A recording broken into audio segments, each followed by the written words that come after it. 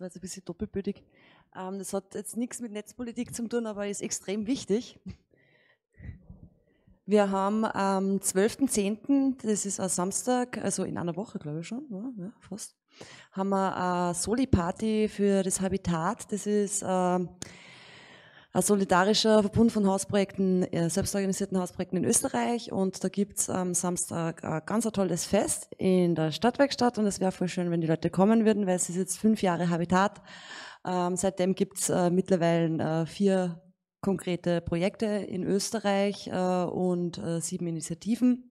Das würde ich da kurz ankündigen, das wäre voll super, wenn man das unterstützt. Da bin ich nämlich auch noch dabei und da wollte ich zu dem Thema vielleicht äh, als Lightning Talk nur ein Mini-Lightning Talk dazu.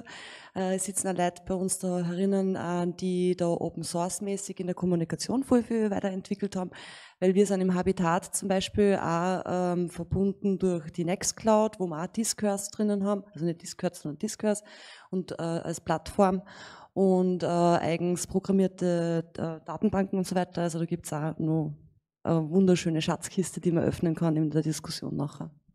Genau. Ah, genau, und falls wer das Habitat und äh, unser Hausprojekt Willifred nicht kennt, ich habe ein paar Broschüren aufgelegt.